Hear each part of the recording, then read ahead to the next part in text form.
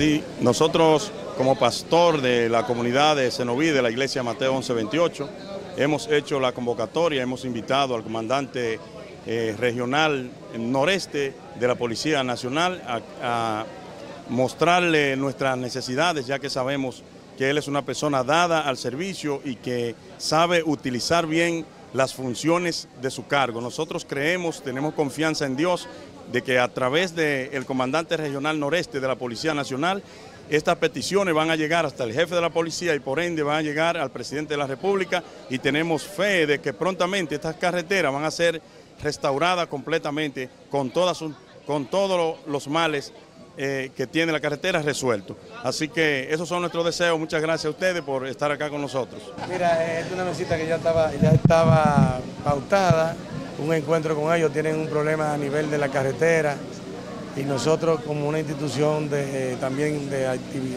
índole social, vinimos a acercarnos con ellos para canalizarle, que pueda llegar a la mano del señor presidente constitucional de la República, licenciado Danilo Medina Sánchez, en la inquietud de ellos hacia su carretera y usaremos la vía de nuestro señor director general, el mayor general Ney Andrés Bautista Almonte, para que sea llegada a las manos de nuestro señor presidente constitucional, el deseo de ellos su carretera y también escucharlo a ellos a nivel social, sus problemas comunitarios de seguridad y un acercamiento y una proximidad a la comunidad de aquí de San José para que ellos tengan ya contacto directo con lo que es la policía. Ese es nuestro deseo.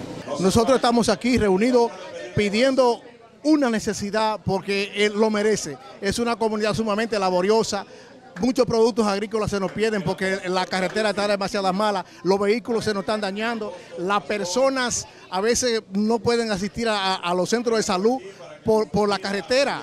Así que necesitamos ayuda, ayuda. Y en nuestro, gracias a nuestro, a nuestro comandante de la Policía Nacional de San Francisco de Macorís, que está aquí con, con presente, para que nos ayuden en esto. Nos va a canalizar las supuestas soluciones a esto. Así es que eso es lo que queremos, que nos ayuden. Y estamos en eso.